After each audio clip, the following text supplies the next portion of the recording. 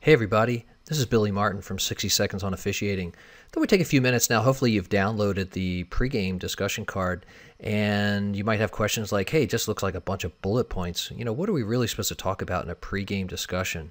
So, thought I'd take a few minutes and just kind of record something here and kind of walk you through typically what I do and how I use this type of tool in a pregame discussion. Now, of course, you make those adjustments between a two and a three person game, but you can use the same type of discussion points and make those adjustments uh, as you are, depending on what type of crew you're in. Now, I've, i like to use a whiteboard that has uh, the ability to use a dry erase marker. Some folks use a little magnetic boards where they can move the little officials around, or you can use a card and just point to it or write on it, uh, whatever you see fit. But I think it's important that you have two things that you have one, a very consistent method of uh, discussion points that you walk through. And it doesn't have to take long, you know, it could be five, ten minutes, but as long as you kind of hit these key points before you go out on the court, then you have some type of something visual that you can kind of work through as a crew and kind of actually show those areas of primary coverage and line coverages and positioning, etc. So let's kind of walk through this here real quick. So I always start with game management, and we always talk about pregame on the court. So what are what are the um, things we talk about? And I, one of the things I always like to discuss is okay, we're going to be on the court 15 minutes prior to the start of the game. This is for an NFHS contest, and in a two person game, we'll have the referee will observe the visiting team and the umpire will observe the home team. Now, in a three person game, it's opposite. We'll have the referee will you know, I'll stand in the, in the, division line, and we'll have uh, U1 will take the home team, and U2 will take the visitors.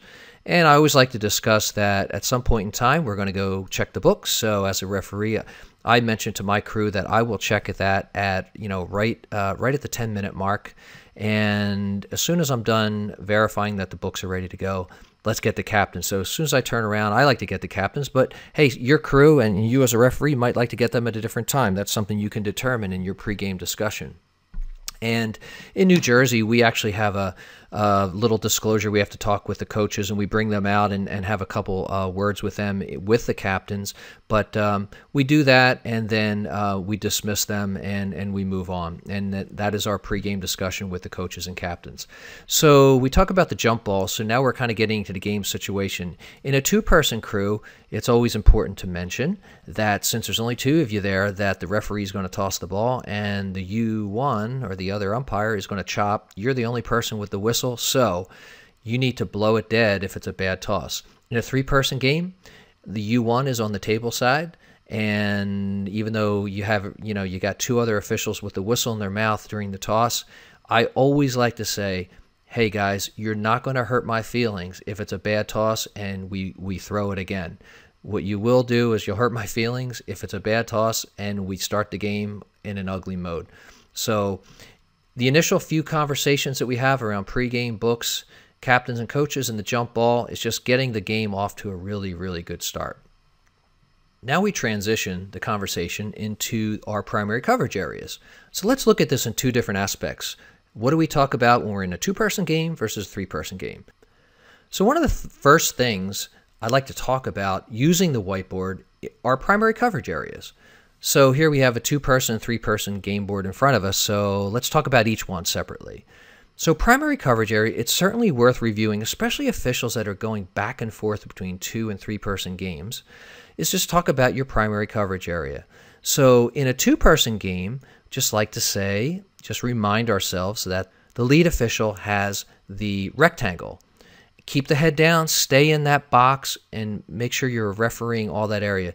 The trail can take all this stuff down here, dribble drives to the basket. Always like to say, as a as a uh, kind of point of reference, that hey, if you're the trail official or an outside official and you see a travel violation in the paint, then definitely take it. You know, come in and take it hard and take any of these fouls that are coming down here from your primary coverage area. Don't forget, you have all this area over here to cover.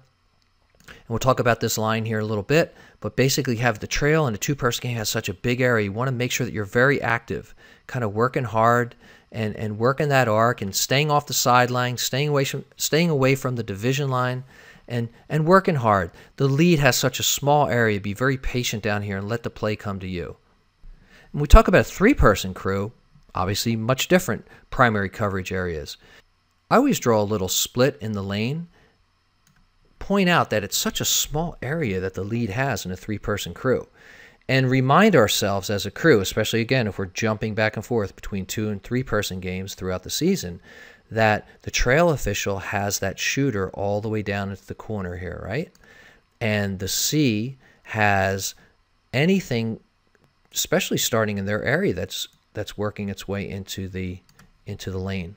So the lead has such a very small area here, and I always like to point out, let's make sure that our center official is working hard to take those plays on their side of the basket line and that the trail is staying with those shooters that are going down in the corner. And the lead has such a very, very small area here.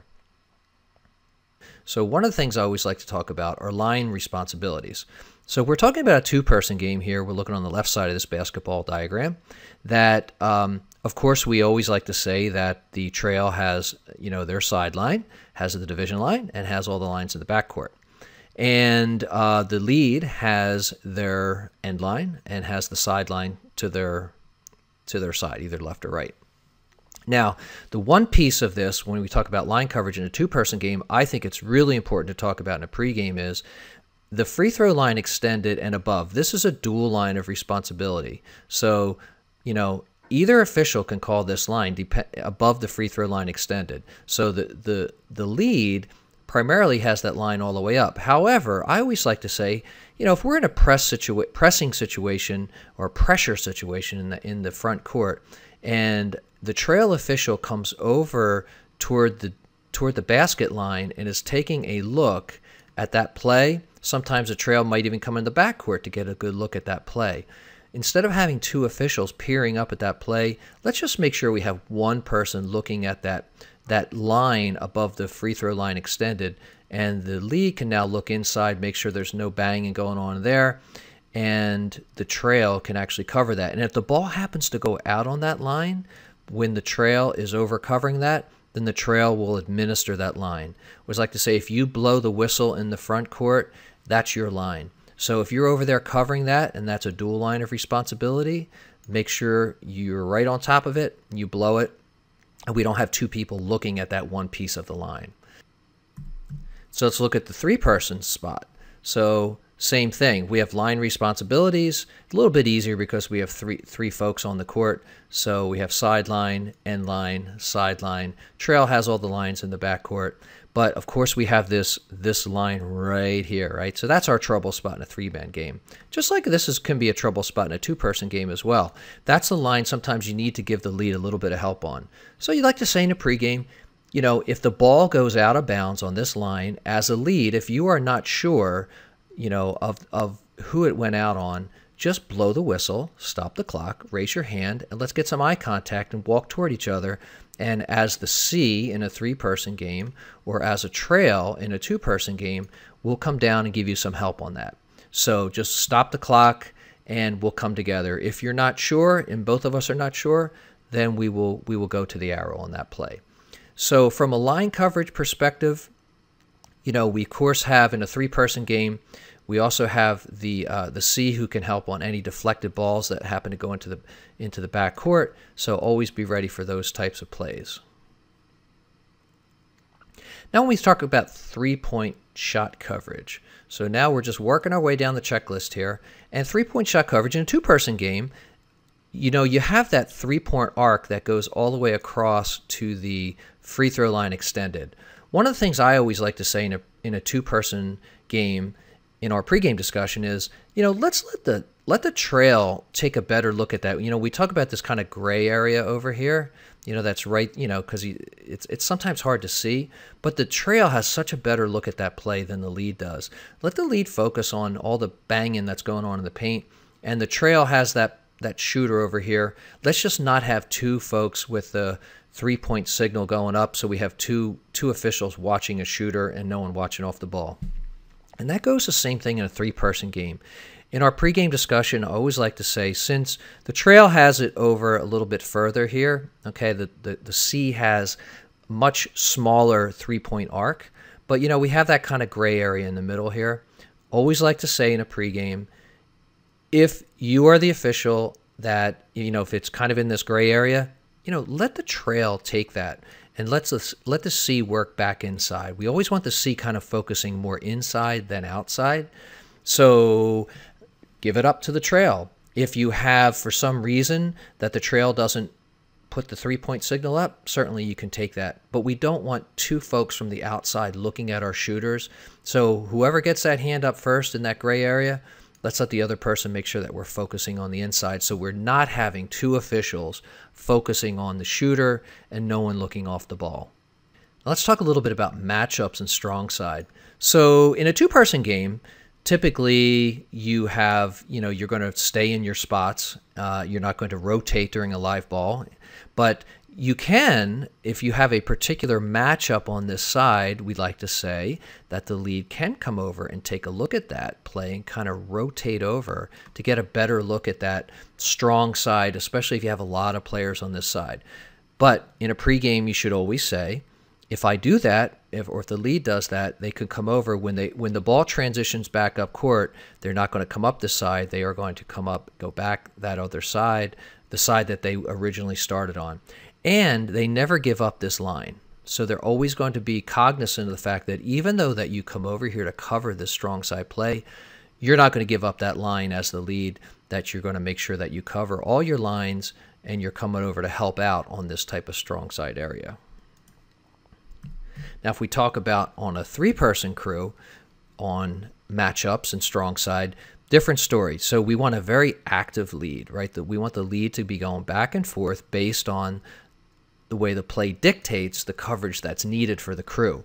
So one of the things that I talk about in a pregame is that you know let's not let's not be lead in our feet here and solid to the ground. Let's let's stay stay active, and we should never have a situation where the C is overloaded with too many folks. Now, if there's just a single matchup where maybe there's there's an offensive player and a defensive player in front of them, a single matchup, okay, especially if the ball's moving around a lot. But if we got a bunch of players over here, let's get the lead over to this side and start our rotation so that the so that the trail can be drawn down and the C can now drop back into a new trail position so that we always have two people on the ball side.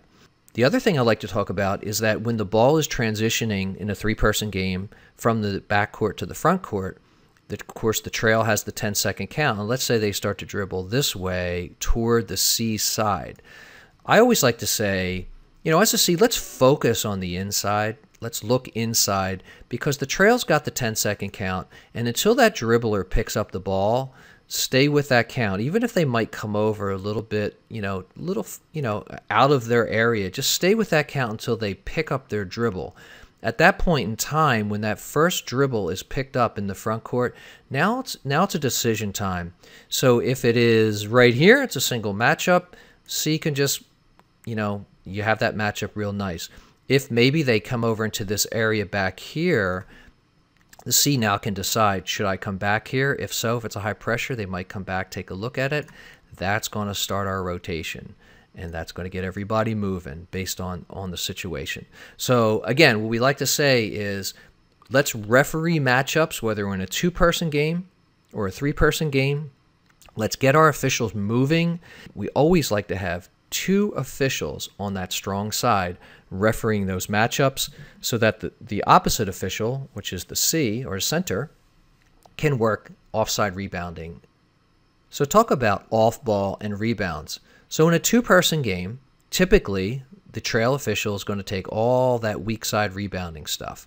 And again, you only have two people out there, so any official can take that, but let's make sure that the trails are looking for those types of things and aggressive from the trail, coming in and get, getting those. In a three person game, you have both the trail and the C that can look at that. But, you know, the C should definitely keep an eye on all this weak side rebounding stuff and, and be very active and come in and take those plays. So we talk about press coverage. In a two person game, it's easy. As the new lead that's transitioning down the floor, if there is a press in the backcourt, four or more back there, you need to drift, stay back here. Don't be so quick to run down the floor. You need to stay back and help your partner, which is the new trail, transition up the court and you need to help in any type of matchups that are going on in the backcourt. In a three person game, it's much easier because the basket goes in, the, the, the, the trail is now going to transition down to become the new lead. It is a very lazy C. You need you don't really need to go anywhere. Just kind of sit still for a second and see what type of defense is being set up. Because you have plenty of time to make that small transition down the floor.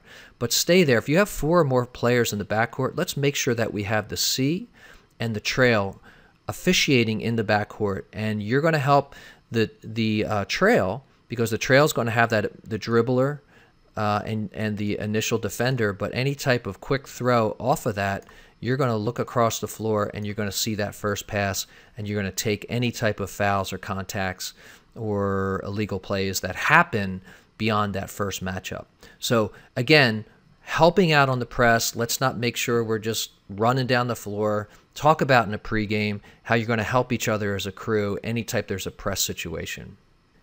I always talk about asking for help because it's really important. We talked about that a little bit earlier where you have these little areas of coverage where there might be a little bit of trouble, where you can always ask for a little bit of help. But anytime we have a situation where something goes out of bounds, or we might have a play that's kind of weird, and you're not sure, just blow your whistle, raise your hand, and ask for help. We'll come in, we'll talk about it, and then you, as the calling official, will make that final determination. If for some reason I always say in a pregame, hey, if I make a call and I'm the only one in the gym that saw this ball go out of bounds and I said it was white ball and everyone knew it was it was blue, then blow your whistle, come in and talk about it and I will change my call if you have information provided that would be, you know, make me change that call. And and I'm not uh, embarrassed by it. Let's just make sure that we get the call right. But let's come together and talk about that. So at any time we can ask for help or you can offer help and then we'll decide on which way is the best way to go.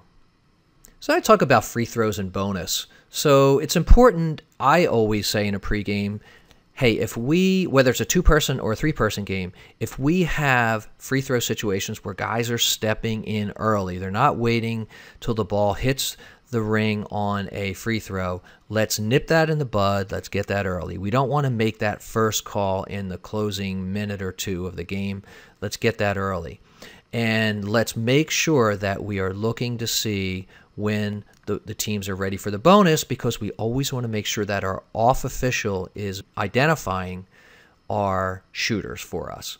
So let's be cognizant of guys stepping in early. Let's be cognizant of when we're coming up to the bonus, whether it's a one on one or whether we're in the double bonus.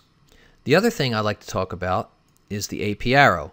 So whether it's a two-person or three-person game, you're always going to have someone that's opposite the table. So whenever we have a change in AP arrow status, let's make sure we have at least one of the officials looking over there to make sure that arrow has changed. If they haven't changed, don't panic. We don't need to stop a live ball, but as soon as the ball becomes dead, let's stop, blow our whistle, and let's go over and fix that arrow. So somebody should be looking at it. Typically, it's a person that's opposite the table, but hey, the more of us that look at it, the better it's going to be. Let's be very cognizant. Anytime that AP arrow switches, let's have at least one official look at it, if not two. Timeouts and substitutions. This is a big one. So, in a two person game, if you are calling a timeout, we'd like to say, call it, go over to the table, administer it, and then come right back. Okay, and mark your spot and our other official is going to be in our 32nd position or in our, our 62nd position. So what we don't want to do is have a lot of flip-flopping and bouncing, you know, switching during a dead ball. Let's I like to say let's do it by the book. You call it, you administer it. The other official who's at the division line will stay at the division line. Of course, that's in a two-person game. In a three-person game, it's the same thing though. If you call it, you administer it. And our official that's furthest away is going to go down at the top of the key for a 30 second timeout or is going to go to the opposite block for a 60 second timeout. And same thing here 30s 60s and if you've called the timeout you come and administer it and go right back to spot the ball. And with our timeouts, it's really important, especially in a three-person game where you have you have two folks that can go in, go into the huddles and get them out of the huddles. So they're in their huddles, go in, give them that first first horn warning, and then let them know, you know, if that second horn goes, we're going to put the ball down.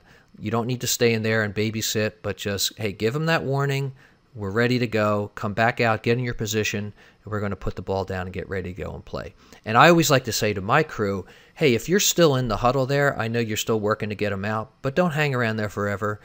When you're done, get out of there. And as soon as you get back in position, if that team is still really lollygagging to get out there, we're going to put the ball down and get moving you know, per the rules. And we talk about substitutions.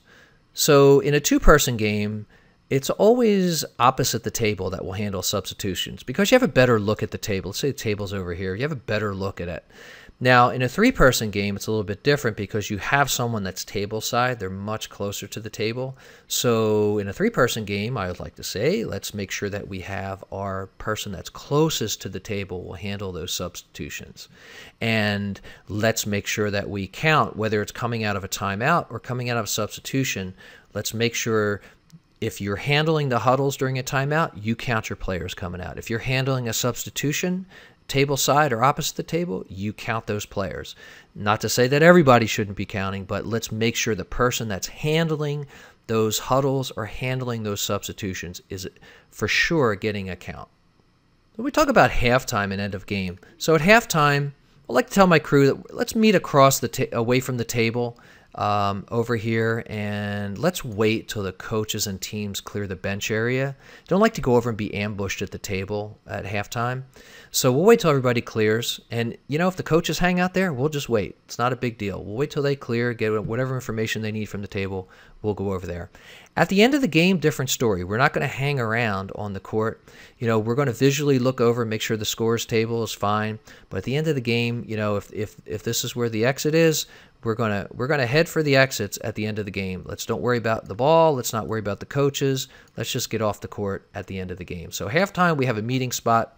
At the end of the game we have a plan that we are going out the door as soon as we uh, just give a visual check to the to the scores table. And now we kind of go through these just points of emphasis really quick. And this is a great opportunity for your partners to kind of chime in with different ideas. So just talk about if there's any particular rule changes for this particular season.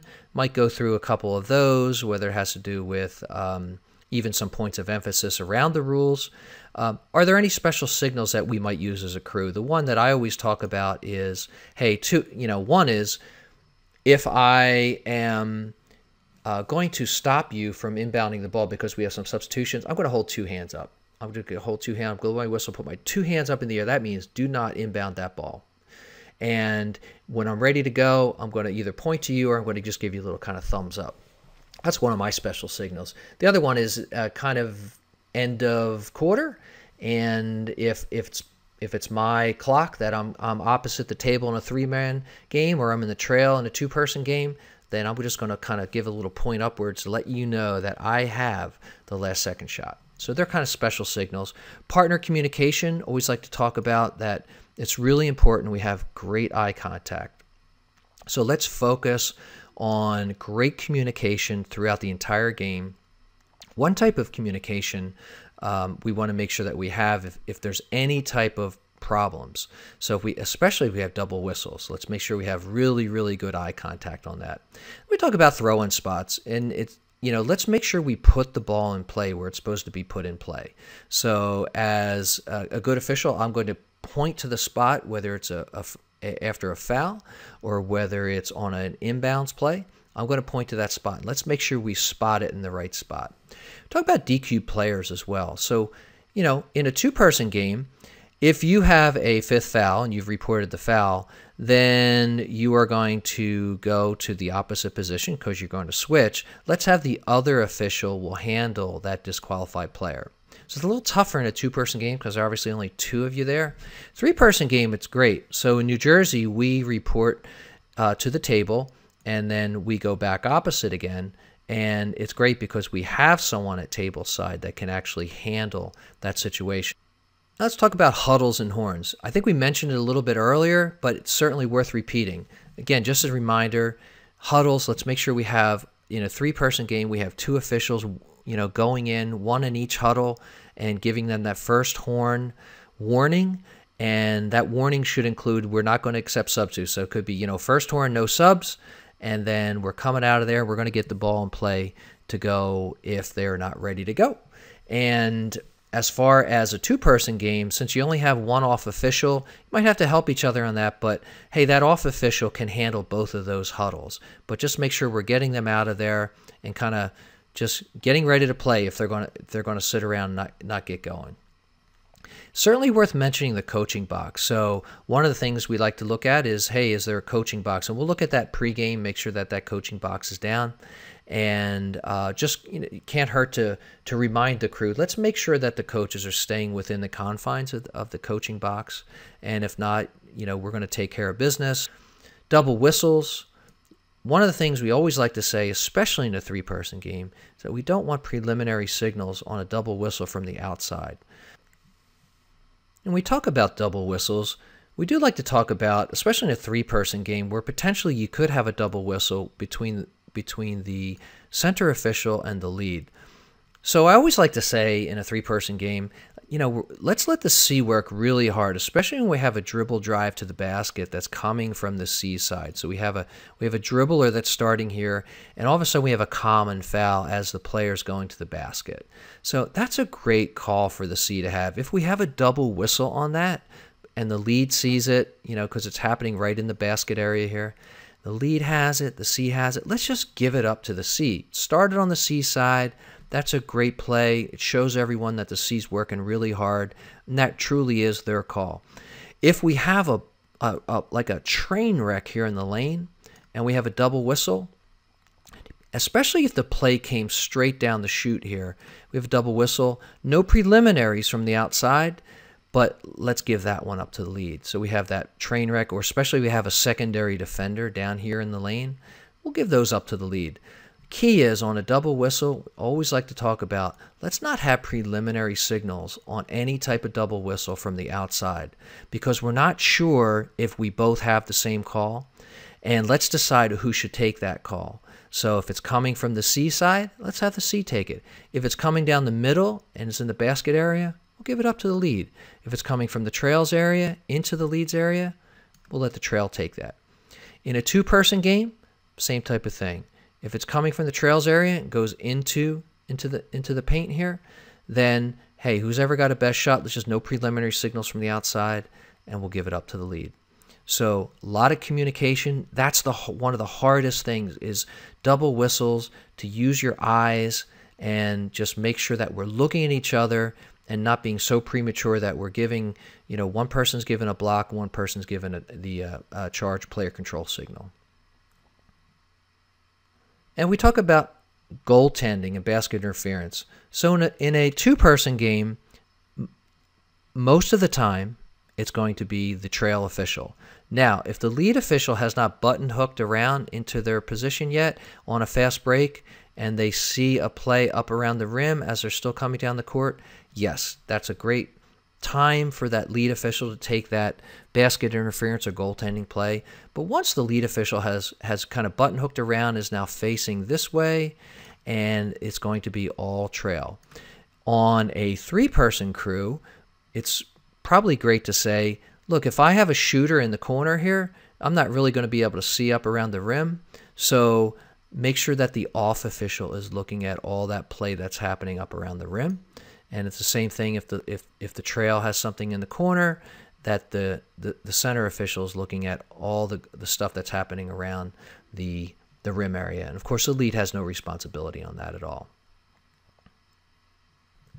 So we talk about last second shots in a two person game, always the trail. In a three person game, it's always the person that's opposite the table. That could be the center official or that could be the trail. If we have a situation toward the end of the game where it's really close and we want to get together as a crew, let's do that. Let's make sure we get together. We're going to talk about who has that last second shot. And if we have any uh, situations where there's any any questions, we'll come together and talk about it. But let's be real clear on who's going to take that last second shot so we don't have two officials that are making some type of ruling on a last second play. One of the things I always like to talk about are technical fouls as a point of emphasis, if we have a technical foul, whether it's a two person or three person crew, if you're going to call technical foul, that's great. But let's come together as a crew and just have a quick five second discussion on what you have and make sure that the crew is ready to go and walk to the proper end and administer that technical foul properly so that it's there's nothing more embarrassing than walking to the wrong end and getting things all messed up. So I like to say, hey, if we have a T, you know, call it. Let's come together before you actually go over to the table. And then if you are the calling official, you're going to go to the table and report it. And then you're going to the division line. And as the off official or the other two officials in a three person crew, we'll go to the right end, make sure we shoot that properly, and you'll be at the division line ready to start our play. Always touch on injuries and fighting. So if we have an injury, let's make sure we deal with that if we have blood. Make sure we uh, ask that player to, um, it's going to need to leave the game. If we have a fighting situation, let's just make sure that we're very cognizant, obviously trying to prevent those situations, but let's make sure that we get a, a good visual on any players that are participating in any type of situation that's fighting, and we see any players that might come off the bench. And I always leave it open at the end here for unique situations for, you know, have you seen anything this year that you'd like to talk about as a crew? Was there some crazy plays? You know, that's I think that's a great way to wrap up your pregame discussion is just talking about anything weird that you've might seen. Well, I hope that you enjoyed this and can take away some pearls of wisdom out of this. Doesn't necessarily mean you have to run through all these every game. But I think a methodical approach to a pregame discussion should include some type of bullet points that you would touch on each and every time and some type of visual diagram that you can work with your crew and kind of, you know, maybe whether you're drawing diagrams or moving pennies on a piece of paper or a ma magnetic board always works out great. So we're hopefully this will help you become a better official and especially when you are the referee in charge, take control of that pregame spark that conversation with your crew, get into a nice dialogue, even if you only have a few minutes, just to prepare before that game. So, good luck.